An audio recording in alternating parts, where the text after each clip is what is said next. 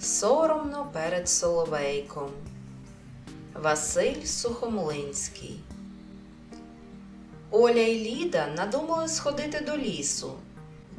Ішли та йшли, в дорозі стомилися та й сіли на траві перепочити. Витягли з сумки хліб, масло, яєчка та й підобідують. Коли це на дерево сів соловейко і заспівав.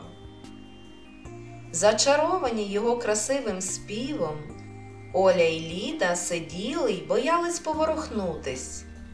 Аж тут він замовк. Оля зібрала недоїдки й шматки газети, кинула під кущ. Ліда зібрала недоїдки, загорнула в газетку і поклала в сумку.